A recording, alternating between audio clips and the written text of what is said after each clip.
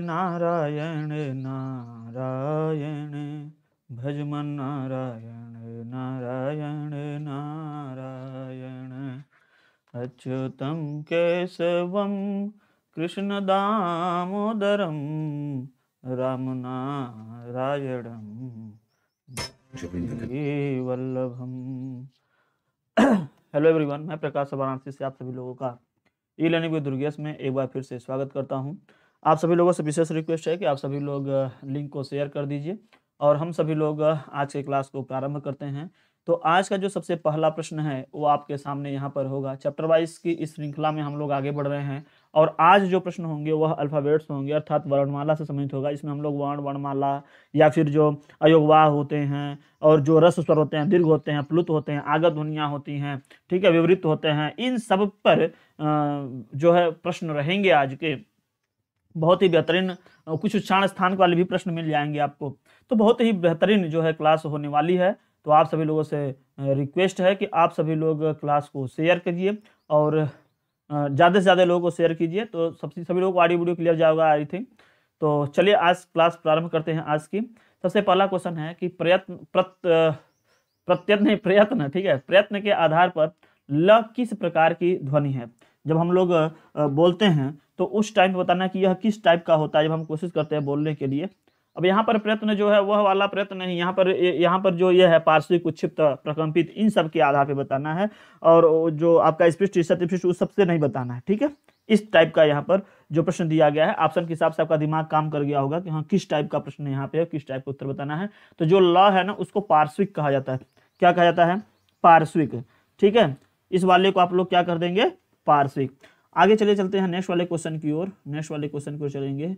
प्रश्न संख्या दूसरा। इस प्रश्न का उत्तर आप सभी लोग कीजिएगा कि निम्न में से कौन सा शब्द अमात्रिक है? क्या पूछ रहे हैं? इसमें से बताइए कि कौन सा शब्द है जो क्या है अमात्रिक है? अब इसमें से अमात्रिक वाले को आप लोग तुरंत पकड़ लीजिए। क्या है अमात्रिक? जल्दी से बताएँ। सभी लोग प्रश्नों को करते रहें और अपने सभी ग्रुप में, जितने भी आप लोगों के एक्टिव ग्रुप हैं या फिर आप लोगों के मित्र, साथी, यार, दोस्त, जो भी लोग हैं, उन सभी लोगों को जो है आप इसको शेयर करते चलें। चलिए, इस प्रश्न के उत्तर की ओर हम लोग चलते हैं और इस प्रश्न का जो उत्तर आएगा, वह आप लोग किसको कर रहे हैं? निम्न में से कौन सा अमात्रिक है? कारखाना, अमिताभ कलर रव चहचहाना। इसमें से उत्तर तो आपको स्पष्ट दिख रहा है। इसमें उत्तर क्या बन जाएगा? कल ठीक है? नेक्स्ट क्वेश्चन चलो हम लोग ले लेते हैं। नेक्स्ट क्वेश्चन क्या है? निम्न में से महाप्राण वर्ण है। तो निम्नलिखित में से बताओ, कौन है जो महाप्राण के अंतर्गत यहाँ पर रखा गया है? महाप्राण वर्ण को आपको बताना है। चलो, इस वाले प्रश्न का उत्तर आप सभी लोग देते चलें। धीरे धीरे सनही सनही, लोगों को जोड़ते चलिए आप लोग शेयर करते चलिए। एक दूसरे से जो है, एक दूसरे से जो उत्तर का अगर आप लोग देख रहे हैं तो उसका नकल तो मत कीजिए। नकल मत कीजिए, लेकिन आप देखिए कि हाँ हमसे कौन आगे जा रहा है, कौन पीछे जा रहा है भाई। झगड़िए नहीं, बस उनसे क्या कीजिए आप? अपने आप को सोचिए कि हाँ आप किस दिशा में जा रहे हैं और आपका जो पढ़ने का जो स्तर है, वह किस स्तर तक पहुँच रहा है? आप इन सब सारी बातों को ध्यान में रखते रहिए, प्रश्न को करते रहिए, उनमें से महाप्राण कौन सा वर्ण है, इसको आपको बताना है। तो ये महाप्राण कौन है? मैं बताया हूँ, वर्गों के दूसरा, चौथा और सल प्रत्याहार वाले वर्ण जो होते हैं महाप्राण होते हैं। तो दूसरा है, यह देखो पहला है, का है ना? फिर देखो, यहाँ पे क्या, य, व, र, ल और तो यही है दूसरा वर्ण, महाप्राण, मिल गया। और ये पहला वर्ण है कार है चाहे क क ही लीजिए। तो ये ये भी पहला है और ये यवर अल अंतस में चले जाएँगे, ये भी पहला वर्ण है तो ये सब तो होंगे नहीं, क्या हो जाएगा? आंसर ए करेक्ट हो जाएगा, ठीक है? चलो नेक्स्ट वाला क्वेश्चन लेते हैं हम लोग। हिंदी शब्दकोश में अंग व अह किस वर्ण के साथ आता है? इसको बताओ, किसके साथ में इसमें आएगा? इस प्रश्न का उत्तर आप सभी लोग करते रहे, जो भी प्रश्न आपके सामने दिख दिख रहा है। गुड आफ्टरनून सभी लोग शेयर करते चलें, सभी लोग शेयर करते चलें। तो हिंदी शब्दकोश में अंग व अह जो है, यह वर्ण किसके साथ आता है? अ के अ के या अ? देखो यहाँ पे दो हो गया। यहाँ पे एक आ कर लीजिए। आ तो एक और भी है। चलो एक प्लूत अ कर लीजिए। अब बताओ किसके साथ आएगा। तो प्रश्न संख्या चार। इस चार के उत्तर में जो आना चाहिए, वह क्या आना चाहिए? या फिर यहाँ पे एक और भी आप कर सकते हैं। एक आप यहाँ पे और भी कर सकते हैं जो जो हो सकता है कि उसमें भी लोगों को थोड़ा सस्पेंशन हो। अह, कर लीजिए। तो प्रश्न संख्या चार का जो उत्तर है ना, वह बी वाले में आएगा। ध्यान देना, इसके साथ आएगा। इसी के बाद में तो यह अह या अंग लगता है। इसी में ना लगता है, या तो अंग होता है, या फिर अह लगता है। इसी के बाद लग करके आता है। अब अह में कैसे लगाओगे, तब तो दो हो जाएगा, फिर ये तो होगा नहीं। चलो चलते हैं नेक्स्ट वाले क्वेश्चन को चलते हैं। प्रश्न पाँच है छ वर्ण ये बहुत ही इंपॉर्टेंट है। इसको आप लोग कतई ना छोड़िएगा। इस प्रश्न को पढ़िए और इससे संबंधित जो उत्तर बनेंगे, उसको आप लोग ज़रूर दीजिए। अच्युतम केशवम, कृष्ण दामोदरम, राम नारायणम, जानकी वल्लभम। अच्छा जो एक संस्कृत में मैं बताया था, जो लॉ की ही तरह होता है, वो इस तरीके से लिखा जाता है। इसको आप लोग भूल गए? क्या होता है इसको भूल गए या याद है? हाँ? यह दुष्पृष्ट होता है। क्या होता है? दुष्पृष्ट मैं कब से दिमाग में ले रहा था कि जो क्वेश्चन नंबर वन आज का था लॉ वाला जिसपे हम लोग पार्श्विक पे कर रहे थे हम सोच रहे थे कि इसका नाम इस, इसको क्या बोलते हैं क्या बोलते हैं दिमाग पे भी को आ गया दुष्पृष्ट बोलते हैं क्योंकि दिमाग पे चढ़ता नहीं है एक को देख के दूसरा। तो यहाँ पे फ़िलहाल बताओ प्रश्न संख्या पाँच इसको क्या बोलेंगे? प्रश्न संख्या पाँच क्या होगा इसमें? तो क के बाद स आएगा राइट आंसर ए हो जाएगा। चलो नेक्स्ट वाले क्वेश्चन की ओर हम लोग चलते हैं कि भाषा की सार्थक लघुत्तम इकाई क्या होगी? ए है बी इसका गायब है। तो बी वाले को आप लोग यहाँ पर लिख लीजिए, मान लीजिए कि शब्द के बाद आ जाए, पद, ध्वनि, वाक्य। तो किसके साथ आप लोग रहोगे? तो जो सार्थक लघुत्तम इकाई है, वह ध्वनि होगी। क्या होगी वह? वह ध्वनि होनी चाहिए, ठीक? शब्द से भी अलग अगर आप लोगे तो यह क्या कहोगे आप इसको? ध्वनि को लो। नेक्स्ट क्वेश्चन लो, नीचे आओ। इनमें से कौन सा वर्ण अल्प प्राण व्यंजन है? अब अल्प प्राण और महाप्राण। मैं पहले बताया था अभी कि एक, तीन, पाँच और यण प्रत्याहार वाले अल्प अल्प प्राण होंगे, जबकि दूसरे, चौथे और सल वाले क्या होंगे? महाप्राण वाली ध्वनिया होंगी, ठीक है? चलो, इस वाले प्रश्न का उत्तर बताते चलिए। जय श्री राम। नारायण, श्रीहरि, आयुष्मान भव, दिग्विजय भव, चिरंजीव शिव, कीर्तिमान भव, और जो भी थोड़ी बहुत परेशानियाँ हो रही हैं, जल्दी से ही दूर हो जाएँगी, ठीक है? हर हर महादेव, हर हर महादेव। तो सभी लोगों को नमस्कार। तो इनमें से कौन सा वर्ण अल्प प्राण व्यंजन है? तो देखो दूसरा है दूसरा है यह पहला मिल गया यहाँ पर। ठीक तो यह क्या हो जाएगा? अल्प प्राण हो जाएगा। और जितने लोगों को अभी आ, मिल रहा होगा आप लोगों को क्विज। बहुत दिनों से लोग कह रहे थे सर हम लोगों का भी क्विज करवाइए। तो अब आप लोगों को सुपर टेट का भी क्विज मिलना स्टार्ट हो गया होगा।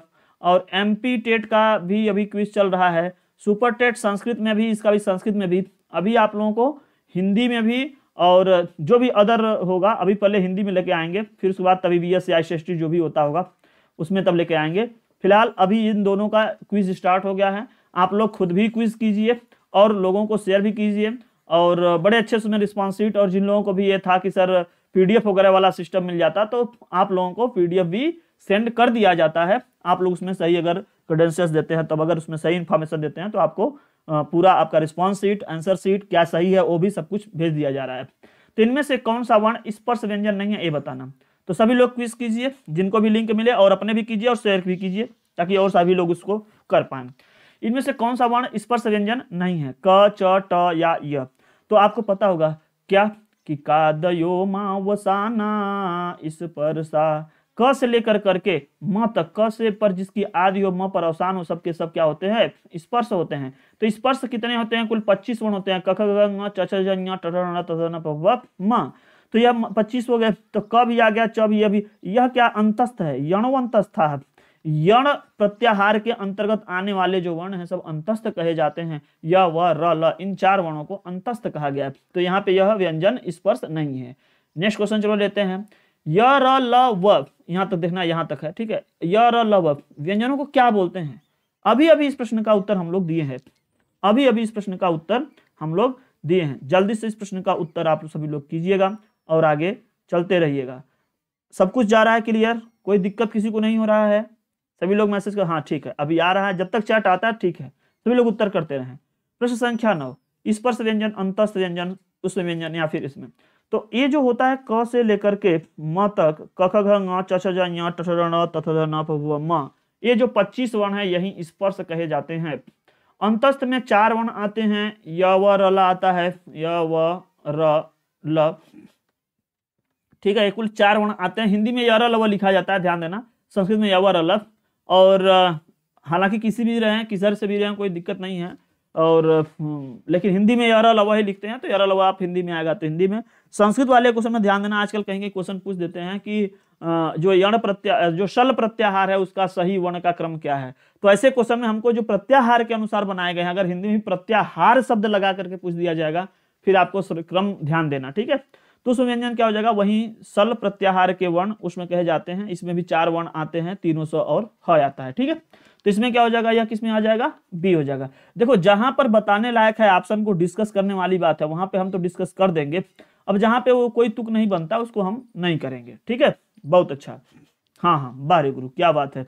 नेक्स्ट क्वेश्चन लेते हैं निम्नलिखित में से दंतव्य वर्ण कौन से हैं? अब कहीं लिखा होगा दंत्य वर्ण कौन से हैं? कहीं लिखा है दंतव्य वर्ण कौन से हैं? कहीं लिखेगा दंती कौन से हैं? तो आपको पता होना चाहिए ऋतुलसा नाम ऐसे, लू नहीं ऋतुलसा नाम दंता क्या? ऋतुलसा नाम दंता तो ये जो ली वर्ण है, अब यहाँ पे आपका ली तो दिखाई नहीं देता है, इसलिए आप इसको छोड़ दीजिए। तो पे आइए तथ दध न, ल और दंती स। इन सभी के क्या हो जाएँगे आपका? दंत। तो अब यहाँ पे क्या हो जाएगा? यह नहीं आएगा। इचु यशा नाम तालु लितु लसा नाम दंता यह काम करेगा। ये तो ओष्ट का हो गया। ठीक है? उपपदमानीय नाम ओष्ठ उ ओष्ट का हो गया, यह क्या हो गया? इचु यशा नाम तालु, यह तालु का हो गया, यह भी तालु का हो गया, यह क्या हो जाएगा? दंत का हो गया। नेक्स्ट लिए क्वेश्चन लेते हैं। घ का उच्चारण स्थान कौन सा होगा? घ का। तो क वर्ग में आएगा, और क वर्ग किसमें आ जाता है भाई? क, ख गंग तो अकुह विसर्जनीया नाम कंठ। क्या जाएगा? जितने भी क वर्ग में आएँगे, ठीक? और अ आएगा, विसर्ग आएगा, इन सबका कंठ होता है। तो इस प्रश्न का उत्तर क्या हो जाएगा? बी करेक्ट हो जाएगा। चलिए नेक्स्ट क्वेश्चन लेते हैं हम लोग। न्यून में अर्ध स्वर क्या है? हाँ एक हिंदी में यह कॉन्सेप्ट आप लोग बार बार देखते हैं कि यह इसमें से अर्ध स्वर क्या है?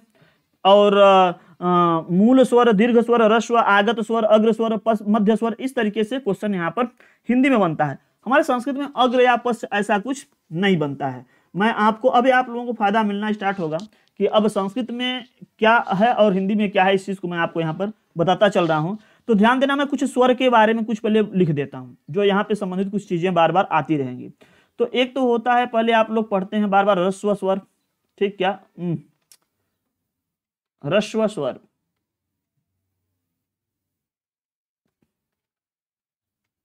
जो रस्व स्वर है, वो होता है अ ई उ, री। बस इतने ही होते हैं। यहाँ री वाला कोई कॉन्सेप्ट मत लेके आना, ठीक है? रस्व हो गए। यहाँ पे आती है मूल स्वर कौन कौन से हैं? हिंदी के लिए हम बात कर रहे हैं। यही यही मूल स्वर भी हैं। इन्हीं को हम कह सकते हैं यही है मूल स्वर। अ ई री। दिख रहा है पूरा? और ई थोड़ा सा खिसका देते हैं। हाँ ऐसा। तो यह मूल हो गए। फिर बात आती है, दीर्घ स्वर कौन कौन से हैं? दीर्घ स्वर होता है आ ध्यान देना, यहाँ संस्कृत से कुछ चीज़ें आपको अलग मिलेंगी। आ, ई, उ, यहाँ दीर्घ री नहीं मिलता है, ध्यान देना। री का दीर्घ यहाँ पे नहीं दिखाई देगा। उसको बाद आता है ए ओ, औ। और हम लोग संस्कृत में लिखते हैं तो क्या लिखते हैं? ए, ओ आई औ। इस तरीके से चलते हैं। लेकिन आप लोग हिंदी पढ़ रहे हैं तो हिंदी तरीके से जैसा दिया था, वैसे ही पढ़ें। अब बात आती है आगत स्वर। यह इंपॉर्टेंट है। आगत स्वर जो होता है ना, यह इस तरीके से होता है, ये इस तरीके से केवल होगा। यह आगत स्वर है, केवल एक के साथ ऐसा बताया गया, एक है। अब बात आती है आपकी अग्र स्वर ये अग्रस्वर कौन कौन होते हैं? आज बता दे रहे डेली वाली क्लास में आप वैसे नहीं देख पाओगे। ई, ठीक है? रस्व ई भी आता है ना रस्व ई भी आता है, दीर्घ ई भी आता है। तो ई ई, ए आई ये क्या है आपके? क्या है? अग्र आ जाते हैं। उसके बाद आता है मध्य स्वर में कौन कौन आते हैं? मध्य स्वर में केवल एक वर्ण आता है, आपका एक स्वर आता है अ। फिर बात आती है पश्चिम में कौन आते हैं। अब जो बच्चे आपको पता हो गया होगा कि पश्च में कौन कौन बनेंगे। अब आ ले लीजिए, ये दोनों ऊ बचे हैं तो दोनों ऊ ले लीजिए। ओ भी बचा है, औ भी बचे हैं, इसको ले लीजिए। और पश्च में जो है, पश्च में आगत वाला भी आ जाता है। आ आ रहा है, इसलिए भी आ जाएगा, ठीक है? पश्च में तो इसको ले लीजिए। अब कुछ बनता है, एक एक बनता है समृद्ध और एक बनता है अर्ध समृद्ध एक बनता है विवृत्त ठीक? और अर्ध विवृत्त ये चार पॉइंट यहाँ से देख लीजिए, काम देगा। कई जगह आता रहता है। एक हो जाता है समृद्ध स्वर। ये जो समृद्ध स्वर हैं, ये कौन कौन से बनते हैं? तो समृद्ध स्वर केवल दीर्घ वाले ये दोनों हैं। दीर्घ ई और दीर्घ उ। ये समृद्ध स्वर कहे जाते हैं। और अर्ध समृद्ध कौन से हैं, इसको भी देख लीजिए। इनके बीच में जो डीप डीप में जाएँगे, जब कभी हिंदी डीप में हम पढ़ाने का अवसर मिला तो उसमें हम चर्चा करेंगे कैसे, लेकिन हमारे संस्कृत में बड़े अच्छे से बताया गया है। आप लोग देखे होंगे कि स्वर कौन से हैं, मूल स्वर कौन से हैं, संयुक्त स्वर कौन से हैं हैं? और, कौन, किसका उच्चारण स्थान क्या है, कौन स्पृष्ट है, ईसत स्पृष्ट है, ईसत विवृत विवृत सबका बताया गया है। लेकिन अब यहाँ पर इनके अनुसार भाई देख लीजिए, ये थोड़ा सा इसीलिए हमको भी यहाँ पे रटने जैसा कुछ लगता है अभी, कि आप लोग अभी रटोगे ही इसको। और दो पॉइंट और लिख लीजिए, क्या लिखे संवृत्त संवृत्त स्वर और अर्ध स्वर। अर्ध स्वर नहीं, अर्ध संवृत्त लिखिए। अर्ध स्वर नहीं, अर्ध संवृत्त लिखिए। अभी अभी अर्ध स्वर के बारे में नहीं बात। यहाँ लिख रहे हैं अर्ध संवृत्त। यह हो जाएँगे। और उसके बाद आप बात कीजिए यहाँ पे संवृत्त। समृद्ध कौन कौन होते हैं? समृद्ध के लिए तो चर्चा कर लिए ना? समृद्ध नहीं समृद्ध हो गया। समृद्ध को बात कर लिए। समृद्ध नहीं। अब समृद्ध अब बचा विवृत्त का। तो लिखिए विवृत्त। ये जो विवृत्त हैं, यह आ जाएँगे आ औ। ये हो जाएगा विवृत्त के लिए। अब एक बचता है अर्ध विवृत्त। कौन? अर्ध विवृत्त। इसमें आ जाता है ए, ओ, और एक यह भी आ जाता है, आ भी आ जाता है, और एक, इसको भी ले लेते हैं अर्ध विवृत्त में। तो अब आप देख लिए होंगे कि यह क्या है? रस्व है, मूल स्वर, दीर्घ स्वर, आगत, अग्र स्वर, मध्य स्वर, पश्च स्वर विवृत्त हो गए समृद्ध हो गए अर्ध समृद्ध अर्ध विवृत्त इस तरीके से आप लोग यहाँ पर देख लेंगे कि हाँ यह कौन कौन से वर्ण किस अच्छा पार्श्विक क्या है? व्यंजन के कर्ष कंडीशन में अगर अर्ध स्वर आए तो क्या होगा? क्वेश्चन में था अर्ध स्वर अर्ध स्वर क्वेश्चन में यह था। अर्ध स्वर यहाँ पर दो वर्णों को माना जाता है, एक य को और एक व को। इसको याद रखना, ये पूछा जाता है, अभी जो इसी में से क्वेश्चन पूछा गया है। लुंठित और एक पार्श्विक। पार्श्विक ल हो जाता है, लुंठित का एक हो जाता है। तो ये सब भी क्वेश्चन थोड़ा आप डिटेल में उतरेंगे, कभी समय देंगे तो समझ पाएँगे। अब यहाँ ध्यान देना यह जो है वह अर्धस्वर कहा जाएगा। एक वह भी अर्धस्वर कहा जाता है। तो कुछ जानकारी जो उससे संबंधित थी, मैं आप लोगों को बता दिया। जो संबंधित जानकारी थी, मैं बता दिया। ठीक है? चलिए, आगे चलते हैं। आज सामने सामने की आवाज़ नहीं आ रही क्या? महाप्राण ध्वनिया व्यंजन वर्ग में किससे संबंधित है? लो अब जो महाप्राण है तो वर्गों के दूसरे, चौथे और सल प्रत्याहार के। तो बताओ, दूसरा चौथा कहाँ पे है? दूसरा चौथा कहाँ पे लिखा गया है? तो प्रश्न संख्या तेरह में जो बात कही गई है, यहाँ पे प्रश्न संख्या तेरह में जो दूसरा ऑप्शन सॉरी सी वाला ऑप्शन है, दूसरा और चौथा जो ऑप्शन बना है, यह है। और वर्गों के पहले, तीसरे, पाँचवें और यण वाले किसमें आते हैं? अल्प प्राण में आते हैं। नेक्स्ट क्वेश्चन हिंदी वर्णमाला में उस व्यंजन कौन से हैं? लो अच्छा क्वेश्चन है, बढ़िया क्वेश्चन है, आता है रिपीटेड क्वेश्चन है, बहुत बार क्वेश्चन पूछा जाता है तो ऐसे प्रश्नों को भी आप दीजिएगा, ठीक है? आई बात समझ में? चलिए, जो ज़्यादातर क्वेश्चन पूछे जाते हैं, वो दिमाग में जो ही आते रहते हैं, बताते चलते हैं अब बहुत सारे हैं, ठीक है? जैसे अब इसमें भी अगर हम बात करें तो अघोष है सघोष है, ऐसा भी तो क्वेश्चन पूछा जाता है, ना? तो चलिए स्वतंत्रीय कुछ ऐसे हैं। हिंदी में बहुत सारे उसमें आपको एक एक क्वेश्चन के लिए रटना पड़ता है। धीरे धीरे प्रैक्टिस करवाते चलेंगे, संबंधित चीज़ें आती रहेंगी, बताते चलेंगे। हिंदी वर्णमाला में उस व्यंजन कौन से हैं? स स स तो अब देखो, स स स जो यही है ना, यही तो व्यंजन है। सल प्रत्याहार के अंतर्गत में रखा गया है और सल प्रत्याहार में यही तीनों स और ह आते हैं और यह क्या हो जाते हैं आपके? उस व्यंजन कहते हैं। संस्कृत में भी वही है। ये देखो क्वेश्चन थोड़े बड़े छपे हैं तो हम खिसका देते हैं इसको। हिंदी के जिन वर्णों का उच्चारण करते समय केवल श्वास का प्रयोग किया जाए, देखो परिभाषा है यह, केवल श्वास का प्रयोग किया जाए, उन वर्णों को हम लोग क्या कहते हैं? इसमें से ना, अब समझ में आया? परिभाषा है। हम बताते होंगे कि जब आप लोग सघोष क्या है, अघोष क्या है अल्प प्राण महाप्राण अल्प प्राण मतलब जब उच्चारण में कम प्राणवायु निकले तो अल्प प्राण जब अधिक प्राणवायु निकले तो महाप्राण, ठीक इस तरीके से बताता है। तो इसी तरीके से यहाँ पर कि जब उच्चारण करते समय केवल श्वास का प्रयोग हो। किसका प्रयोग हो? केवल श्वास का प्रयोग हो तो उसको हम लोग यहाँ पर क्या कहेंगे? अघोष कहेंगे कि या सघोष कहेंगे। दोनों तो अभी बता दिए तो है नहीं। उसको अघोष कहेंगे या सघोष कहेंगे। तो ध्यान देना, इसको अघोष कहते हैं। केवल श्वास का प्रयोग हो। इसमें हम हम लोग क्या बात करेंगे? उसको अघोष कहते हैं। और जो अघोष ध्वनिया हैं, वो क्या होता है? प्रत्येक वर्ग के प्रथम और द्वितीय वर्ण। और फ, श और तीनों स, ये सब में। फ वाला जो, ये वाला फ होता है, हिंदी में, इनको अघोष कहा गया है।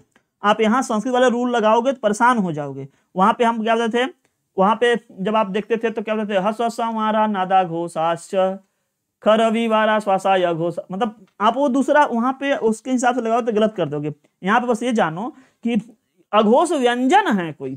तो अघोष व्यंजन कौन है? जिन जिनके उच्चारण करते समय केवल श्वास का प्रयोग हो अघोष होते हैं तो यह हो गया आपका यहाँ पर। और सभी के बारे में अगर आप जो है पढ़ेंगे, डीपली पढ़ेंगे तो आप पुस्तकों पढ़ते होंगे तो उसमें मिलता रहेगा। और जो जो छोटा छोटा आता रहेगा, हम लोग उस पर चर्चा करते चलेंगे। हालाँकि उसे परिभाषा संबंधित क्वेश्चन बहुत कम बनता है। ठीक है, बहुत कम बनता है कि जिसमें यह क्या होता है, उसमें क्या होता है। हाँ एक क्वेश्चन पूछ लेते हैं कि इसमें कौन सी वर्ण क्या होती है। एक या दो क्वेश्चन आना है। अक्सर करके उच्चारण स्थान पूछ लेते हैं। मिश्र वाला जो वर्ण होते हैं कभी कभी उसको पूछ लेते हैं, या फिर पूछ लेते हैं, इसमें कौन सा रस्व है, कौन दीर्घ है, कौन प्लुत है, और या फिर वो जो स्पेशल टाइप के भी हम बताए हैं, उससे चर्चा होती है। तो एक आध क्वेश्चन जो है, उससे आ जाता है। अब इतना डीप में अंदर बहुत कम क्वेश्चन होते हैं, और जो हिंदी वाले होंगे, वो जानते होंगे। जैसे हम लोग संस्कृत पढ़ते हैं तो देखिए बहुत गहराई में तक पढ़ते हैं। अब उतना गहराई में उतर करके हिंदी भी तो पढ़ाए नहीं है, ना पढ़ाए हैं आप लोगों को। तो कौन वर्ण ओठ से ओष्ठ वाले नहीं है? अब ओष्ठ वाला कौन सा नहीं होगा? तो उपपद मानिया नाम ओष्ठ, वहाँ भी लगा, यहाँ भी लगेगा। प, फ, ब, भ, म। प, फ, ब, भ, म, प वर्ग का। प, फ, ब, भ, म और उ, ये सब के सब ओष्ठ हैं। हई, अ क्या है? ये अ अ जो है, यह जो आ है, यह अ के ग्रुप में आएगा। इसका मतलब आपको विसर्जन नाम कंठ से इसका भी क्या हो जाएगा? कंठ हो जाएगा। ठीक? आगे चलिए देखते हैं नेक्स्ट वाले क्वेश्चन की ओर। अल्प प्राण ध्वनिया। कौन ध्वनिया? अल्प प्राण ध्वनियों, ध्वनिया के समूह कौन है? अब बताओ इसमें से अल्प प्राण ध्वनिया कौन सी हैं? अल्प प्राण वर्गों के पहले, तीसरे, पाँचवें पकड़ो। ये दूसरा है, ये पहला, तीसरा, पांचवा, ये दूसरा है, ये दूसरा कट जाएगा। क्या हो जाएगा? बी वाला क्या हो जाएगा? करेक्ट हो जाएगा। बहुत सही। तो अभी तक हमारे साथ में जो लोग उत्तर दे रहे हैं, उसमें अभी देखिए राजू चौहान है, रवि यादव हैं, भावना त्रिपाठी हैं सवितानंद है वीना सिंह है, महेश सरोज हैं, अवधेश कुमार हैं। ठीक है? जो लोग भी उत्तर दे रहे हैं, सभी लोग उत्तर अच्छा कर रहे हैं। हर एक प्रश्न पर थोड़ा सा ध्यान दीजिए अच्छे से, ना? और शेयर ज़रूर कीजिए सभी लोग अपने सारे ग्रुप में। बहुत अच्छा। क्वेश्चन के उत्तर देते रहना चाहिए। ऐसा नहीं है कि हम नहीं देखते रहते हैं। देखते रहते हैं, कम देखते रहते हैं, और जहाँ पे काम वाली बात आती है, कुछ उस पर हम डिस्कस करते हैं। अनावश्यक अगर चैट को देखते रहेंगे तो क्लास थोड़ा डिस्टर्ब हो जाती है, बातों में चले जाते हैं। और मैं तो और बात करने लगता हूँ। अगर हमसे कोई किसी बात पे करने लगे तो फिर किसी को कुछ अच्छा नहीं लगेगा। तो वर्ण शब्द का अर्थ नहीं होता। इसलिए पढ़ो केवल ध्यान से, ठीक है? वर्ण का अर्थ नहीं होता क्या? रंग, आकाश, जात या फिर अक्षर। तो प्रश्न संख्या 18 में हम बात करें तो वर्ण का मतलब रंग तो होता है, जात भी होती है, वर्ण अक्षर भी होता है, आकाश नहीं होता है। आकाश नहीं होता, ठीक है? वर्ण माने कलर होता है, रंग। किस वर्ण के हैं? गोरा या सांवला, ऐसा। कौन सा वर्ण घोष नहीं है? अब घोष नहीं है तो घोष नहीं है, इसका मतलब फिर अब क्या बताओगे इसमें से? महादेव महादेव, सभी लोगों को नमस्कार। अब बताओ इसमें से कौन सा वर्ण घोष नहीं है? र, त, अ या फिर ड तो पहला, दूसरा वाला आप लोग अगर सब पढ़े होंगे, उस हिसाब से भी आप लोग छाट सकते हैं, ऐसे भी। कौन वर्ण जो है, वह घोष नहीं है प्रश्न संख्या उन्नीस में जो उत्तर आ रहा है, वह क्या आएगा? क्या आएगा? त। ठीक? त। मैं बताया था कि जो अघोष होते हैं, वह वर्गों के पहले और दूसरे वर्ण उसमें आ जाते हैं। पहले दूसरे। तो जो त वर्ण है, पहला है अघोष में चला जाएगा। घोष नहीं है इसका मतलब।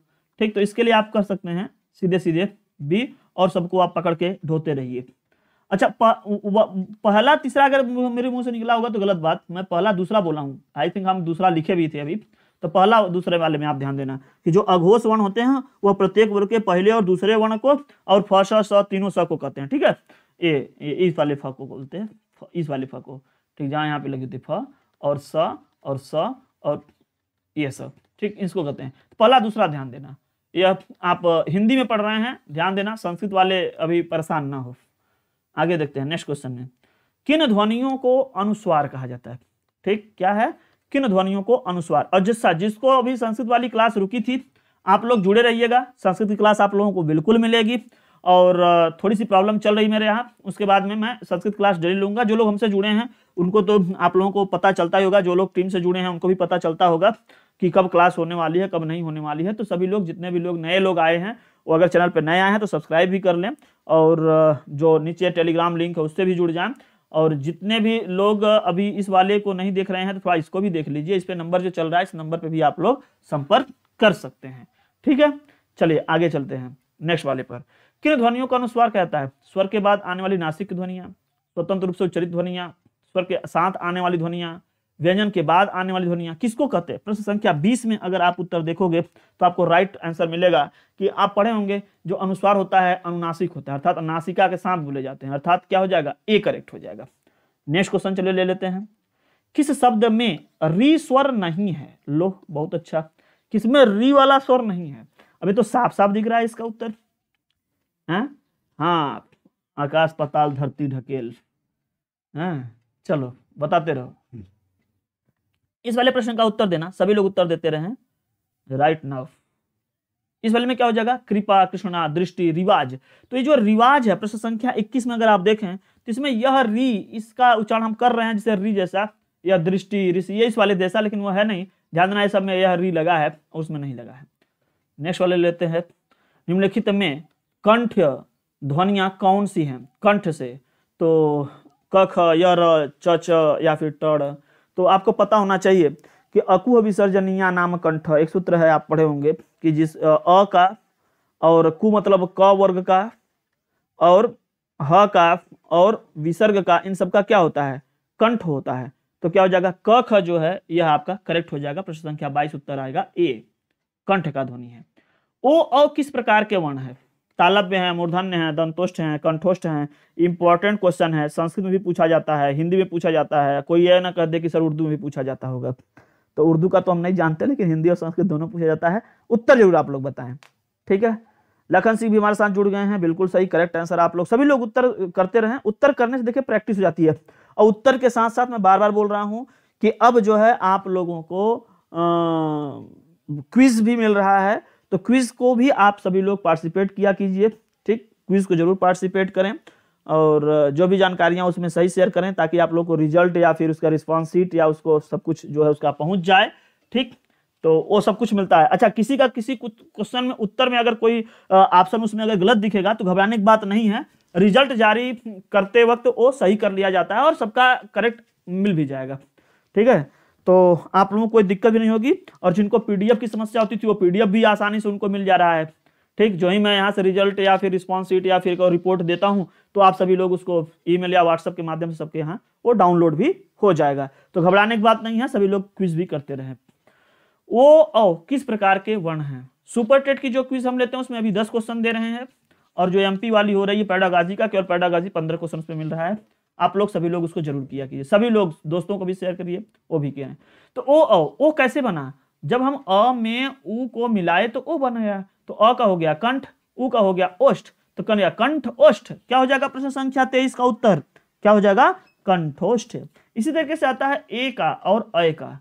तो ये बनता है अ और ई से। तो होता है कंठ और तालु। तो कंठ तालु वाला अलग है। ठीक, यहाँ हो जाएगा। नेक्स्ट क्वेश्चन चलो ले लेते हैं चौबीस नंबर में। निम्नलिखित में, ओष्ठ ध्वनि नहीं है। कौन? ओष्ठ वाली ध्वनि नहीं है। तो ध्यान दो, ओष्ठ वाली कौन कौन सी होती है? उपू पदमानिया नाम ओष्ठ। गुरु लिंक तो भेजा जाता है, टेलीग्राम लिंक भी लिंक जाता है। ठीक? बहुत सारे लोगों को लिंक मिलता है, टेलीग्राम से भी मिलता है। और सारे हम लोग भी शेयर कर देते हैं, हमारे पास में जो लोग जुड़े हैं, हम उनको भी शेयर कर देते हैं। और उसके साथ में फेसबुक भी जोड़ देते हैं। बहुत सारी जगह लिंक मिला, मिलता है। तो आप सभी लोग ज़रूर जुड़े रहें। वहाँ से आप लोग को टेली वो मिल जाता है और कि जितने कम से कम समय में आप लोग सबमिट कर दें, ठीक? तो सभी क्वेश्चन किया कीजिए और घबराने की बात नहीं है, उसमें नंबर नहीं कटने वाला है, ठीक? जो रहेगा उस स्पष्ट दिखाई देगा। निम्नलिखित में ओष्ट ध्वनि नहीं। अच्छा कुछ क्वेश्चन में हम देखे थे, एक क्वेश्चन था, उसमें मैं दिया था तवलकार। इसमें हम देख रहे हैं कि 80 परसेंट लोग गलत कर रहे हैं। इसमें कौन सी संधि है? पहला ऑप्शन हम साथ दे दिए थे यण संधि का। दूसरा ऑप्शन था वहाँ पे गुण संधि का। तीसरा ऑप्शन वहाँ पे दे दिया गया है, शायद वृद्धि या आयादी दे दिए हैं क्या? ठीक है, ले लीजिए, चौथा आयादी ले लीजिए। ऐसा ऑप्शन है। इसमें से बताओ कि तवल लकारा में कौन सी संधि हुई है? इसमें इसमें कोई बहुत, हमारे समझ से बहुत कठिन बात तो नहीं कुछ था, लेकिन इसमें 80 परसेंट लोग गलत किए थे। अभी तक जो लोग आंसर किए थे 50 पचपन, अब पैंसठ, सत्तर लोग जो भी किए थे अभी तक, उनमें बहुत ज़्यादा अंतर मिला। अच्छा ठीक है, मैं भेज दूँगा। तो उसमें ध्यान देना। इस वाले क्वेश्चन में सभी लोग कमेंट करके बताओ क्या मिलेगा। मैं आपको बता दूँ, तव धन लिकार जब आप करते हैं, तव धन लिकार और इसमें जब अ आता है, जब अ या आ के बाद में अगर लरी आए तो इन दोनों के स्थान पर अल हो जाता है। इसलिए तवल कार बनता है, और यह अल कैसे होता है? यह अ, ए, ओ, ये तीन की गुण संज्ञा होती है। यही अ जो होता है, या तो अर, जैसे महर्षि, ब्रह्मर्षि, देवर्षि। और यह अल जो होता है, ये, इसमें फार्म में दिखाई देता है। तो यह गुण संधि होता है। जैसे तवल लकार है हमल लकार है। दो एग्ज़ाम्पल में बताया था। और ये मैं देखा हूँ कि बहुत सारे लोग अभी तक यह करीब करीब जितने लोग दिए हैं, उतने बहुत सारे लोग गलत किए हैं। नहीं, बिल्कुल मिल जाएगा। गुरुवर ऐसी आपसे कोई दुश्मनी नहीं है। बस मिले, आप लोग करिए भी शेयर भी कीजिए। अच्छे क्वेश्चन उसमें। और सबसे अच्छी बात है कि उसमें पीडीएफ डाउनलोड हो जा रहा है सही आंसर के साथ में और जो आप गलत किए हैं, उसके भी साथ में। अच्छी बात है। और आंसर सीट को भी जो एक कॉमन आंसर होती है, उसके भी पीडीएफ को हम लोग ग्रुप पे दे दे रहे हैं। तो बहुत अच्छी सिस्टम पे काम चल रहा है। जल्दी आप लोगों को बहुत सारे क्विज देखने को मिलेंगे और जो पीडीएफ का जो लोचा चलता रहता है सर पीडीएफ सर पीडीएफ ये चक्कर छूट जाएगा। और उसमें एक चीज़ और पता चल जा रहा है कि मैक्सिमम लोग कहाँ गलत कर रहे हैं, किस क्वेश्चन में वो गलत कर रहे हैं। जैसे अगर हम बात यहाँ पे क्वेश्चन करें, अभी देंगे हम कभी कि धन आकृति क्या? लरी धन आकृति ही। इसमें क्या बनेगा? क्षमता मैं तो बता ही दिया। लरी धन आकृति तो मैं बता ही दिया। फ़िलहाल अगर हम बताएँ, लाकृति ही चलो लिख दिए। अब बताओ, इसमें कौन सी संधि बनेगी? दीर्घ संधि, गुण संधि, वृद्धि संधि, अयादि संधि, कौन सी संधि बनेगी? इसमें एक ऑप्शन डाल लेना दीर्घ संधि का। ठीक है? इस वाले में लाकृति में डाल देना दीर्घ संधि का एक एग्ज़ाम्पल और मतलब एक उसमें ऑप्शन डाल लेना। अब बताओ, लाकृति में क्या होगी? ये भी क्वेश्चन बहुत लोग गलत करते हैं। और इसको क्वेश्चन पे भी हमने सर्वे नहीं चेक किया, लेकिन आप सभी लोग, मैं फिर बता दे रहा हूँ कि आप सभी लोग देखिए, इससे पता चलता है किस टाइप पर लोग जाके अटक रहे हैं। और जब हमको पता चल जाएगा कि आप वास्तव में किस पॉइंट पे अटक रहे हैं तो ऐसे क्वेश्चन की पुनरावृत्ति करूँगा। और ऐसे क्वेश्चन पे विशेष जो है शॉर्ट वीडियोस या उसके समाधान के लिए मैं कोई एक छोटा छोटा वीडियोस बना करके आप लोगों को उसको रिकॉर्डेड माध्यम से या फिर लाइव में या फिर किसी भी तरीके से उसको मैं बता दूँगा तो इससे बड़ी अच्छे से समझ में आ जाएगी कि हाँ क्या होगा। आ गए गुरु जी गुरु जी बताया कि इसमें दीर्घ स्वर संधि होगा। महादेव, जब लरी धन आकृति में बताया तो लरी से अब बताओ अक सवर्ण दीर्घ में अक प्रत्याहार में ही केवल दीर्घ होता है। अक प्रत्याहार माने अ ई उ और री और ली ठीक? यहाँ दीर्घ संधि होता है। अब लरी के साथ में सवर्णी या तो री आएगा या तो लरी आएगा। अब यहाँ आ रहा है तो कहाँ से सवर्णी लगा दिए आप? इसीलिए दीर्घ संधि को दिया जाता है और लोग दीर्घ संधि लपेटते हैं। ध्यान देना, जब लरी के बाद में कोई स्वर आए तो यह लरी जो है ल में बदल जाता है, यह यवर ल बदल जाता है मतलब यण संधि से बदलता है। किससे?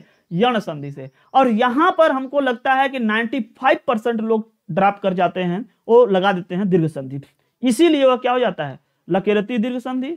ना ना ना ना, लाकृति वाले में दीर्घ संधि नहीं है गुरु जी वह वहाँ पे काम करता है, सूत्र काम करता है, ई को यणची इक का यण हो जाना मतलब ई, उ, री या ली इसके बाद अगर स्वर आएगा तो ई य में चला जाएगा, उ व में चला जाएगा, री, र में चला जाएगा, ली ल में चला जाएगा। इसलिए लाकृति का ली जो है, ल में गया और ल में जब आकृति मिला तो लाकृति बनी। इसमें हम जानते हैं 95 परसेंट लोग गलत कर देते हैं और कई बार हम देखे हैं इसलिए मैं इस वाले ऑप्शन को विशेष बताता हूँ। आज दिमाग पे आ गया, देखिए तुरंत मैं पूछ दिया, बता भी दिया। तो ऐसे विशेष क्वेश्चन में जहाँ पर बहुत सारे लोग गलत करेंगे, जब हम उसको क्विज माध्यम में चेक करते हैं, तब हमको पता चल पाता है कि हाँ यहाँ पर गलती हो रही है। जहाँ पे आप लोग ऐसे बताते नहीं हो कि हमारे अंदर एक कमी है तो अब हम उसको जान पाते हैं कि वो इसलिए यहाँ पे लोग गलती कर रहे हैं तो हम उसको अलग से फिर से आपको एक्सप्लेन कर देंगे। तो आप सभी लोग ज़रूर जुड़िए और आगे देखेंगे अगर ज़्यादा मात्रा में अगर आप लोगों को आवश्यकता पड़ेगी तो जो डेली का क्विज होता है, केवल क्विज वाले क्वेश्चन पे एक्सप्लेनेशन लेकर के हम आया करेंगे। केवल क्विज वाले क्वेश्चन पे, उसके लिए कोई अलग शॉर्ट वीडियो बनाएँगे, पंद्रह मिनट, बीस मिनट, क्योंकि क्वेश्चन बहुत कम होता है। उस पर हम लोग दो तीन क्वेश्चन पे आप लोग प्रॉब्लम रहेगी, शॉर्ट वीडियो बना के आपको ज़रूर दे देंगे। निम्नलिखित में ओष्ठ ध्वनि नहीं है। अब ओष्ठ उपू पधमानिया नाम ओष्ठ उपू पधमानियान। अब ऊ का हुआ पफ बभ म का, ओष्ठ हो जाएगा। तो ये सब तो ओष्ठ हो जाएँगे। ईचू यसा नाम, तालु से तालब्य का हो जाएगा। तो चौबीस नंबर का हो गया, ए करेक्ट हो गया। नेक्स्ट क्वेश्चन ले लेते हैं, प्रश्न संख्या पच्चीस। हिंदी की तालब्य ध्वनिया कौन सी है? तालब्य इसलिए मैं बताया कि आप लोग ज़रूर दीजिएगा, ठीक है? हाँ ऐसा क्वेश्चन आता है, और ये तब हमको पता चलता है जब मैं क्वेश्चन देता हूँ, और उसमें बहुत सारे लोग जब सही या गलत करते हैं, तब वहाँ से पता चलता है कि वास्तव में लोग मिस कहाँ कर रहे हैं? तब हम उसको जान पाते हैं। ऐसे तो सभी लोग छाप देते हैं, सबका देख के ए, सबका देख के भी तो हम उस वाले पे सोचेंगे और जो सर्वे दे रहे हैं, वो हमारे पास में रहेगा तो हम उस पर एनालिसिस करेंगे। और वैसे ही क्वेश्चन या उस वाले पॉइंट पे जहाँ पे आप लोग गलतियाँ अधिक हो रही हैं, ऐसे ऐसे क्वेश्चन को देंगे और उस पर जो एक्सप्लेन करेंगे उसको तो जल्दी से समस्याएँ दूर हो जाएँगी। एक तरीके से वो डायग्नोस्टिक टेस्ट के लिए भी क्यूज काम करेगा, वो हमारे लिए भाई आपका रिपोर्ट ही दे रहा है। तो हिंदी की तालब्य ध्वनिया है। तो ईचू यशा नाम तालु, ईचू यशा नाम तालु। अब ये जो च वर्ग है, सब तालु का है। तो च छ ये तालु का है। ये क्या उपू पदमानिया नाम ओष्ठ, या ओष्ठ का है। ऋतुलसा नाम दंता है, दंत का है। ऋतुलसा नाम मूर्धा, ये मूर्धन्य का है। तो क्या हो जाएगा? ए वाला बिल्कुल करेक्ट हो जाएगा। नेक्स्ट क्वेश्चन आ जाओ। कौन सी ध्वनि अल्प प्राण है? कौन सी ध्वनि है जो अल्प प्राण है? ठीक? बताओ। अल्प प्राण कौन सी होगी? अल्प प्राण। ख, ध, मैं बार बार अल्प प्राण महाप्राण का क्वेश्चन बहुत करवाता हूँ इसमें वर्णमाला वाले चैप्टर में। अब तो चैप्टर वाइज प्रारंभ कर दिए हैं। आप लोग इतनी बार आप लोगों से हम रगड़वा देंगे कि आप लोग भागोगे कहाँ? करके ही जाओगे। बिल्कुल करोगे। अच्छे से करोगे। एक एक चैप्टर पे पर्याप्त क्वेश्चन करवाएँगे। क्यों नहीं होगा? होगा। ठीक। लहरों से डर कर नौका पार नहीं होती और कोशिश करने वालों की हार नहीं होती। तो अल्प प्राण क्या है? तो वर्गों के पहले, तीसरे, पाँचवें और यण वाले अल्प प्राण कहे जाएँगे। वर्गों के दूसरे, चौथे और सल वाले। सल एक प्रत्याहार है, जिसमें चार वर्ण आते हैं, तीनों स और ह। ठीक है? तो इसको क्या बोलेंगे हम लोग? महाप्राण बोलेंगे। यह अल्प प्राण है। करें, कौन अल्प प्राण है? तो देखो दूसरा है, ये देखो चौथा है, ये दूसरा है। तो दूसरा, चौथा अल्प प्राण नहीं होते हैं, यह महाप्राण होते हैं। और देखो यहाँ पे वर्गों का पहला वर्ण आ गया त। तथा दधन में पहला वर्ण आ गया तो यह अल्प प्राण कहा जाएगा। इस वाले को आप ध्यान से देखो, ठीक है? कई जगह एक क्वेश्चन आ जाता है और बहुत अच्छा किस्मत तब रहती है जब जो पढ़ा जाए, एकदम बिल्कुल वहीं आ जाए। और एक सत्ताईस नंबर वाले क्वेश्चन में थोड़ी सी दिक्कत वाली यहाँ पर एक दे दिया है, जिसकी वजह से थोड़ी समस्या हो जाती है। हिंदी की स्पर्श भी हो, घोष भी हो, महाप्राण हो दंत हो। हम क्या करते हैं कि पहले देख लेते हैं दंत कौन सा है। तो दंत तो हम तुरंत चेक कर लिए। दंत तो हम तुरंत चेक कर लिए। क्या? थ ध ऐसा। तो दंत में तथा दधना में आ जाएँगे। तो प, फ, ब, भ, म तो होगा नहीं। त थ द ये दोनों हो सकते हैं। ये भी होना ये तो दंत है ही नहीं। तो दंत वाली कंडीशन पूरा करने के लिए हुए। अब रही बात अल्प प्राण, महाप्राण की। तो जो दूसरा और चौथा वर्ण है, यह महाप्राण होते हैं। तो ये देखो, यह त थ द यह तीसरा वर्ण है। यह दूसरा वर्ण है, यह महाप्राण होगा। हम यहीं तक चेक कर, करके इसको क्या कर देते हैं? करेक्ट लेकिन एक बार थोड़ी सी अच्छा स्पर्श भी है तो न तक जाएगा, स्पर्श तो है ही। घोष वाले पे जा करके एक बात अटक जाती है कि आप लोग जब हिंदी में पढ़ते हैं तो हिंदी में आप पढ़ते हैं, घोष कौन था? तो हस समारा नादा घोष तो जो जो हस प्रत्याहार में है, अर्थात, ह, य, व, र, ट, ल मैंने पचवा फिर चौथा फिर तीसरा। ठीक? लेकिन यह दूसरा आ जा रहा है, खर प्रत्याहार में आ जा रहा है। तो अघोष लेकिन बेटा मैं बार बार अभी फिर जब देख रहा था, मैं सोच रहा था तब क्या यहाँ अघोष कर दें? प्रश्न संख्या सत्ताईस के लिए। तो आप एक चीज़ थोड़ा हिंदी में हिंदी में ध्यान देना कि जो हिंदी में अघोष है या जो हिंदी में घोष है, थोड़ा इसके ऊपर दृष्टि पड़नी चाहिए। तो जो हिंदी में सघोष माना गया है, जिसको हम लोग कहते हैं, सघोष, वह हिंदी में है वर्गों के तीसरे और चौथे। कौन? वर्गों के तीसरे। अब यहाँ पे हम देखो लिख रहे हैं ये हिंदी में संस्कृत वाला लगाए थे तो एक जगह हम परेशान हुए थे इसको कुछ दिन पहले। फिर हम वहाँ पर कुछ करेक्ट कर, मतलब हम तो उत्तर इसी पे चेक कर लिए थे। दो ही स्टेप पे चेक किए करेक्ट हम मार दिए सी सी तो सही हो गया। लेकिन कुछ लोग बोले कि सर यह अघोष है कि घोष है? तो संस्कृत के दृश्य से अगर आप देखेंगे वहाँ का घोष यहाँ के घोष से कुछ अंतर है। भाई तो यहाँ वाला घोष और अघोष क्या है इसको हम यहाँ पर समझ लेते हैं। संस्कृत वाले में क्या है ना कि जो हस प्रत्याहार में आता है वह हो जाते हैं घोष। और जो खर प्रत्याहार में आता है हो जाता है, यहाँ क्या होता है? अघोष।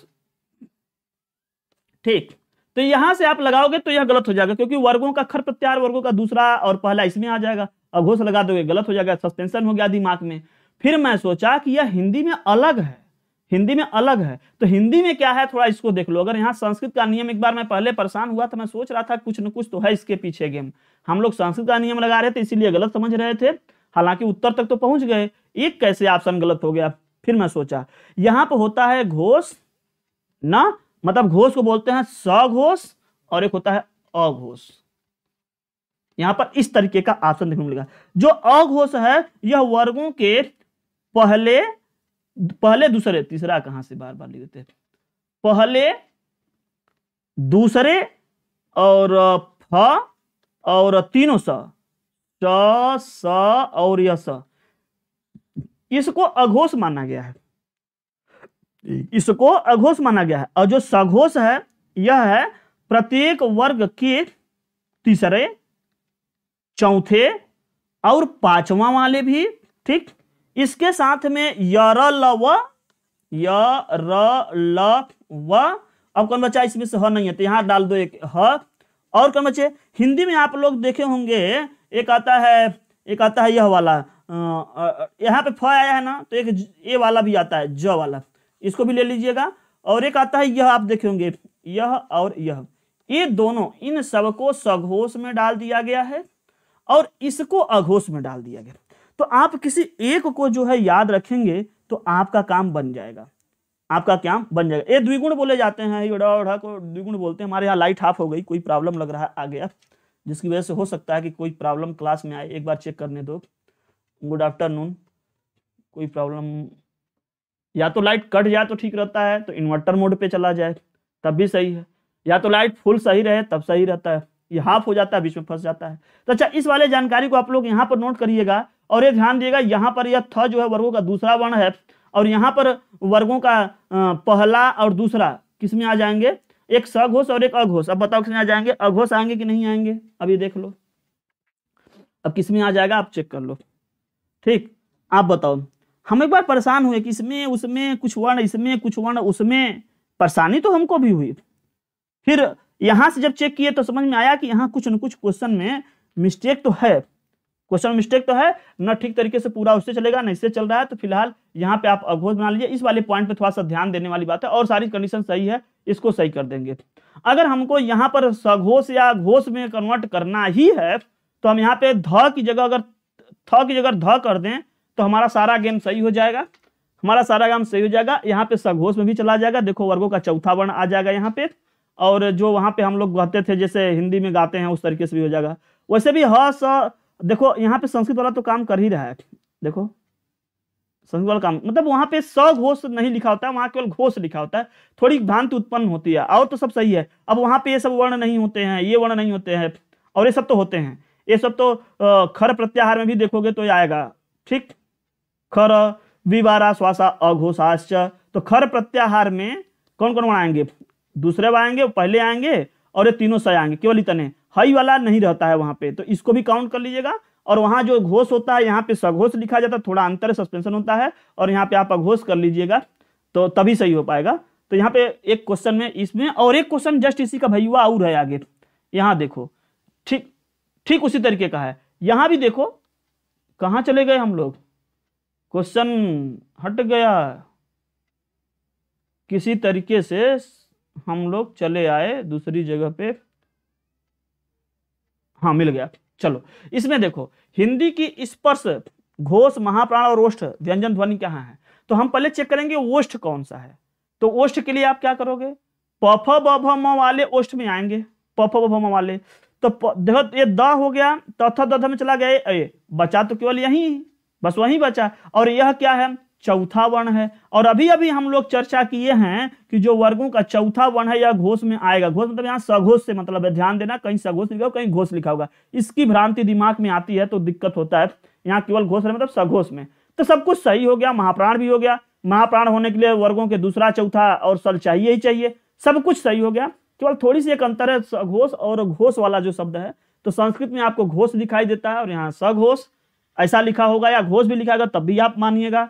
दूसरी चीज़, घोष वाला या सघोष वाले में यह जो, ये द्विगुण वाले हैं, ये और जो इस तरीके का जो है इसको, और अघोष वाले में इस वाली वर्ण को आप जोड़ लीजिएगा। बस, इतना अंतर कर लेंगे तो आपका हो जाएगा।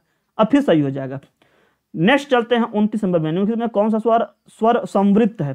देखो, फिर से आ गए यहाँ पर। अब समृद्ध और विवृत्त वाला केस, वहाँ पे आप देखे तो कुछ अलग तरीके से। यहाँ देखिए, यहाँ पर समृद्ध केवल हिंदी में इन्हीं दो को माना गया है। दीर्घ ई और दीर्घ ऊ को ही समृद्ध माना गया। आज ही की क्लास में पीछे आप जाकर के मैं देख लीजिएगा, मैं लिखवाया हूँ इसमें। ठीक? इसमें आज ही मैं बताया हूँ। तो आप इसके अनुसार अगर आप उत्तर करोगे तो क्या करोगे? यहाँ तो है ही नहीं। तो यहाँ पे आप डाल लीजिए, समृद्ध है तो कर लीजिएगा यहाँ पे दीर्घ। समृद्ध के लिए क्या करोगे? समृद्ध। यह क्वेश्चन पूछा गया है। तो समृद्ध स्वर्ग, दीर्घ ई और दीर्घ उ इसमें से अगर दिया है तो सही कर लेना और ये सब नहीं है। आज ही क्लास में पीछे लिया हूँ। पीडीएफ में आप जा करके देख लीजिएगा या फिर क्लास बैक कर लीजिएगा। मैं बताया हूँ कि कौन से समृद्ध बताए गए हैं, कौन सा अर्ध समृद्ध है। जैसे अगर यहाँ क्वेश्चन करते हैं, अर्ध समृद्ध। अर्ध तो नहीं लिखा है? नहीं। अगर यहीं अर्ध लिख देते तो हरस्व लिखना पड़ता है। ध्यान देना, यह तो समृद्ध हो गए। लेकिन कहें अर्ध समृद्ध तो इसके ऐसे वाले ये दोनों अर्ध समृद्ध है। ये दोनों अर्ध समृद्ध हैं। ये हिंदी में है। और हमारे संस्कृत में क्या है? केवल समृद्ध विवृत्त क्या होता है? हाँ उसमें होता है स्पृष्ट, ईसत स्पृष्ट, ईसत विवृत्त विवृत्त समृद्ध ह्रस्व से अवर्ण से प्रयोग मतलब वहाँ पे उतना ही करते हैं। लेकिन हिंदी में थोड़ा इससे अलग है। तो हिंदी वाले आप अलग करके पढ़िएगा इसको। जो आप लोग कहते हैं ना गुरुजी, सब कुछ क्या सेम है या सब कुछ अलग है? तो जो चीज़ें अब अलग हैं हिंदी में, अब हम बताए थे ना, जब मैं हिंदी बढ़ाने लगूँगा तब बताता रहूँगा कि हाँ कौन से संस्कृत में क्या दिया है और हिंदी में यहाँ पे क्या है। नहीं तो जो हिंदी वाला टीचर है, वो अपना हिंदी का केवल जानेगा, जो संस्कृत वाला टीचर है, वो अपना केवल संस्कृत में जानेगा। बीच में बचा बच्चा तो बच्चा का क्या पता चला कि हम यही संस्कृत पढ़ रहे हैं, यही हिंदी में पढ़ रहे हैं, कुछ चीज़ें तो मैच कर जाते हैं, सोचता है सब कुछ सेम है। लेकिन कहीं कहीं वह क्या हो जाता है, गच्चा खा जाता है। तो अब कोई संस्कृत का और हिंदी का दोनों अगर जानकार रहे तो बताए कि हाँ वहाँ पे यह दूसरा है, यहाँ पे यह दूसरा है। और उसको फिर आप लोग ज़रूर एक बार देखेंगे तो सही हो जाएगा। ठीक तो हमारे साथ संस्कृत पढ़ेंगे तो संस्कृत में पढ़ाएँगे हमको हिंदी में पढ़ेंगे तो हिंदी वाली बताएँगे। तो हिंदी की ब ध्वनि कौन सी है? बड़ा दिक्कत होता है इसीलिए लोग एक ही विषय पढ़ाना चाहते हैं कि कंफ्यूजन से बचे रहें। लेकिन अब अब आप लोग कहाँ से बच के जाओगे? दोनों दो, देना तो दोनों पेपर पड़ेगा आपको हिंदी भी संस्कृत भी। हालाँकि मैक्सिमम चीज़ें मैच करती हैं नब्बे परसेंट आप देखोगे तो अस्सी परसेंट सब मैच करता है। हिंदी की ब ध्वनि किसकी है? तो प फ ब भ और म। क्या अच्छा हिंदी में देखेंगे ना तो ये हलंत नहीं लिख, लगा के लिखते हैं, पूरा ऐसे लिख देते हैं। लेकिन संस्कृत में कहीं भी अगर लिखा होगा, आप देखेंगे, अगर व्यंजन लिखा तो व्यंजन शुद्ध वर्ण में लिखा होगा। ठीक? तो इसमें क्या हो जाएगा आपका? इसमें क्या हो जाएगा? प, फ, ब, भ, म।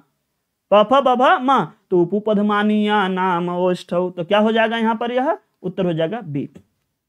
तो आप लोगों को क्लास या तीस क्वेश्चन हम आगे वाले क्वेश्चन जो भी हैं, आगे वाले क्वेश्चन हम यहाँ से करवाएँगे, आगे के तीस पैंतीस क्वेश्चन कल वाले क्लास में करवा देंगे। फिर जो भी और उसके बाद महत्वपूर्ण लगेंगे तो हम वर्णमाला में करवाएँगे। अदरवाइज़ फिर हम आगे वाले चैप्टर की ओर चलेंगे। पर्यायवाची तत्तम तद्भव उनपे चैप्टर वाइज डिस्कशन हम लोग यहाँ पर डेली जारी रखेंगे। तो आप सभी लोग क्लास कैसा लगा ज़रूर बताइएगा शेयर कीजिएगा। जो लोग अभी भी लेखपाल सुपर टेट या फिर यूपी टेट या सी टेट किसी का भी अगर नोट्स वगैरह चाहते हैं या जो आप लोगों को कोई इन्फॉर्मेशन अगर यहाँ पे चाहिए तो नीचे इस कॉलिंग में नंबर चल रहा है। आप लोग उस पर नंबर पर व्हाट्सअप या मैसेज कुछ भी कर सकते हैं। ठीक? तो आप सभी लोग जुड़िए, मिलिए शेयर कीजिए, जितना भी ज़्यादा से ज़्यादा लोगों तक पहुँचाइए, और सभी लोग जो है क्विज में आइए। क्विज वाला बहुत अच्छा है। क्विज वाला भी बहुत बढ़िया चल रहा है। क्विज में आप लोगों को जो पीडीएफ का ही डेली क्लास की जो पीडीएफ या क्वेश्चन की जो पीडीएफ चाहिए होती है, उसमें जो आप लोगों को बहुत होता है, हम दे नहीं पाते हैं। तो वहाँ से आप लोगों को बिल्कुल अच्छा फॉर्मेट में होगा। अभी एक बच्चे का, किसी का था, साथ देखिए, अगर हमारे पास हो अभी तो हम अपने आप को दिखा सकते हैं कि देखो इस टाइप का वह क्विज आपका, उसका रिज़ल्ट जो है वो दिखाई देगा। एक सेकेंड, बस आप लोग कुछ सेकेंड के लिए बस मैं आपकी विंडो थोड़ी सी ब्लैक करूँगा, फिर उसको ला लूँगा तो ओपन कर दूँगा। बस एक सेकंड रुके रहेगा मैं दिखा देता हूँ उस, टाइप का आपको पेपर भी मिल जाएगा। बहुत अच्छा रहेगा पेपर भी मिल जाता है तो।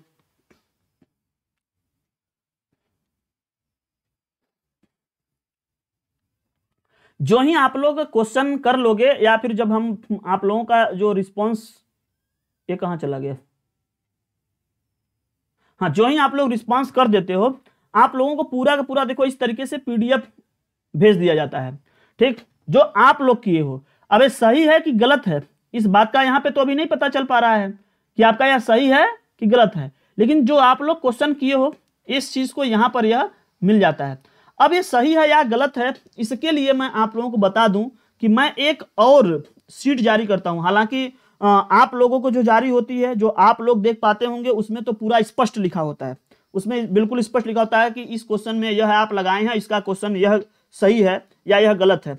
मैं आप लोगों को एक पीडीएफ और जो शेयर करना चाहूँगा और उस दिखाना चाहूँगा, अभी जस्ट अभी दिखा रहे हैं। उसमें आप लोगों को देखेंगे तो पूरा का पूरा जानकारी जो है, वो दिखाई देगा। तो आप लोग बिल्कुल उससे जुड़िए और वो सीट आपके पास रहेगा। आप उसको जब तक चाहें, तब तक आप रिवाइज करने में, देखने में, पढ़ने में, समझने में आप उसको यूज़ कर सकते हैं। जस्ट मैं उसको कुछ सेकंड में आपके सामने उसको दे रहा हूँ। बस उसको रेडी कर लें आप लोग ताकि दिख जाए आप लोगों को। यहाँ से जल्दी से आ जाओ खुलिया सिम सिम। अभी जस्ट हो रहा है। कुछ सेकंड में मिल जा रहा है। तब तक हम आपको बता दें, भजन सुना दें। अच्युतम केशवम, कृष्ण दामोदरम रामनारायणम जानकी वल्लभम। ये देखिए, जो ही आप लोग ये कर करके फाइनल होते हैं तो जो हमारे यहाँ से आता है, ठीक, जो हमारे यहाँ से एक एक रिस्पॉन्स जो आप लोगों को दिखाई देता है, वो कुछ इस तरीके से रिस्पॉन्स दिखाई देगी। जैसे यहाँ पे देखिए, आप व्यंजन वर्णों के कुल कितने भेद होते हैं तो ये जो ग्रीन है, ये वाली करेक्ट है, ये सही है। और अगर आप इसको किए रहेंगे तो ये आपके सामने ग्रीन दिखाई देगा, और यहाँ टिक का निशान है कि यह करेक्ट आंसर है। जो लोग गलत किए हैं, देखिए उनका ऊपर नीचे चला जाएगा। इस तरीके से, अगर कोई बच्चा किसी क्वेश्चन को गलत करता है तो वो उसके सामने पे यहाँ टिक लिखा रहेगा कि करेक्ट क्या है और आपका गलत है। ठीक? और उसका आप लोगों के पास जो जारी होता है, उस पर तो आप लोगों को जो है पूरा का पूरा रेड हो जाता है, पूरा क्वेश्चन ही रेड हो जाता है। कोई अगर यहाँ पे गलत वाला होता है, हालाँकि आप लोग जो जारी हुआ होगा, वो अलग हुआ होगा। यहाँ पे जो जारी हुआ है, ये हम लोग इसको जो रिज़ल्ट देते हैं, उस इस तरीके से होता है। तो आप लोग बहुत अच्छी समझदारी होगी। और यहीं से हमें जान पाए थे कि कितने लोग हैं जो बहुत सारे क्वेश्चन उस वाले क्वेश्चन को बहुत लोग गलत किए हैं। यहीं से पता चलता है कि कितने लोगों को मतलब कितने लोग किस आंसर पे ज़्यादा जा रहे हैं या फिर कौन सा क्वेश्चन ज़्यादा समझ में नहीं आ रहा है, ये सब सारी चीज़ें हम लोगों को थोड़ा पता चलेगा। तो आप लोगों को एक और भी बेहतर चीज़ों को उपलब्ध कराएँगे, बेहतर मटेरियल उपलब्ध करवाएँगे। तो आप लोगों को टेलीग्राम जो नीचे चल रहा है, उसमें जाइएगा ई लर्निंग विद दुर्गेश जो टेलीग्राम है, उस पर आप लोग जुड़ जाइएगा। वहाँ पे भी आपको समय समय पर मिल जा रहा है और ज़्यादा समय नहीं लगता है। आप जब मर्ज़ी तब आप उसको देख करके, आप सबमिट करके हट जाइए। ठीक? बस उस पर जानकारी सही दीजिएगा ताकि मैं आपको जो रिस्पॉन्स सीट है जैसे अभी मैं आपको एक रिस्पॉन्स सीट में यहाँ पर दिखाना चाहूँगा। एक रिस्पॉन्स सीट किसी बच्चे का दिखाना चाहता हूँ जो अभी मिल पाया है। आ, उसको मैं आप लोगों को दिखा दे रहा हूँ। बहुत अच्छा है वो भी। आ, कोई एक आप मतलब किसी बच्चे का दिखा दे रहा हूँ ठीक है? तो पहले तो उसकी कुछ जानकारियाँ उसके ऊपर होती हैं तो उसको हम हाइड कर दे रहे हैं उसके बाद फिर आप लोग दिखाते हैं ठीक है? अभी मैं फिर से दिखा रहा हूँ। तो घबराइएगा नहीं। बस आप लोग बने रहिए। भाई किसी बच्चे का रिस्पांस होगा तो वो सोचेगा कि हमारा सर आप सबको दिखा के हमारा बेइज्जती करा रहे हैं। तो वो वाला मैं खोल दे रहा हूँ। हाँ। जैसे दूसरे का क्या? मेरे वाले पे एक आया होगा। मैं जब ट्रायल दे रहा था तो ट्रायल में ही चेक कर रहा था तो उसमें मिला होगा रुक जाइए मैं अपना ही खोल के आप लोगों को दिखा देता हूँ। ट्रायल सीट जो आती है उसमें था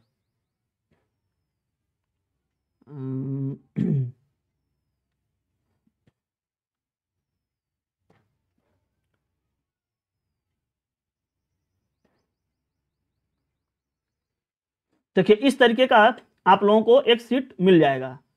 रुक जाओ, पहले इसको हटाओ, आगे। हाँ इस तरीके से नाम अगर आप लोग सही फिल करेंगे तो सही जगह जाएगा। अगर आप लोग क्वेश्चन रहता है, देखो सही किए रहोगे, आपके सामने वो सही दिखेगा। अच्छा दिखेगा, सही दिखेगा, और ग्रीन दिखेगा। अगर सही रहेगा आपका ऑप्शन तो सही दिखेगा। जो ही हम एक जान बुझ यहाँ गलत टिक कर दिए तो जो ही यहाँ पे आप गलत करिए रहोगे, जब मैं यहाँ से आंसर दूँगा तो आपको एक आंसर मिल मतलब एक पूरी पूरी पीडीएफ आपके सामने मिलेगी। और यहाँ देखो, ये आप गलत किए हैं क्रॉस का निशान बनाया है, और इसका सही ऑप्शन यहाँ पे जो दिया गया है। या आपको नहीं पता है कि जो वृत्ति लिखे हुए वृत्तिकार होते हैं, बहुत सारे लोग ऐसे गलत किए हैं इसमें। और यहाँ पे देखो, जितने भी और क्वेश्चन सही रहेंगे, सबके सब आपके सामने ऐसे उपलब्ध हो जाएँगे, इस तरीके से, इस फॉर्मेट में। ठीक? तो अगर आप लोग ये दिए गए इन्फॉर्मेशन को यहाँ पर सही भरोगे तब, ये सब कोई दिक्कत नहीं है डिस्क्लोज नहीं होता है, सब सुरक्षित रहता है, आपको ये सब सारी चीज़ें भेज दी जाएँगी। तो आप लोग क्विज कीजिए और इस तरीके का आपको खुद ही पीडीएफ मिल जाएगा, फिर आपको रिविजन करने में बड़ी आसानी होगी, किसी को कोई समस्या नहीं रहेगा कि सर रिविजन कैसे करें, सर हमको सर पीडीएफ भेज दीजिए, ये भेज दीजिए, बहुत अच्छे फॉर्मेट में मिल जाएगा। अब बताओ कितने लोगों को यह क्विज सही लगेगा? बहुत सारे लोग हैं जो कहेंगे कि नहीं सर क्विज हमारे लिए सही नहीं है। अब बताओ कि क्विज सही है या नहीं है आपके लिए। हमारे समझ से तो अगर आप लोग दें तो क्विज बिल्कुल सही है। ठीक? तो चलो, अब हम अभी भी सेशन को इसी पे ऑफ़ करेंगे। ठीक? सेशन को हम इसी पर ऑफ़ करेंगे। जितने भी लोग हैं, सभी लोग शेयर करें, पढ़ें। ठीक है? चलो। तो आगे के तीस क्वेश्चन को हम नेक्स्ट डे में सॉल्व करने वाले हैं। तो अभी के लिए बस इतना ही। Thanks for watching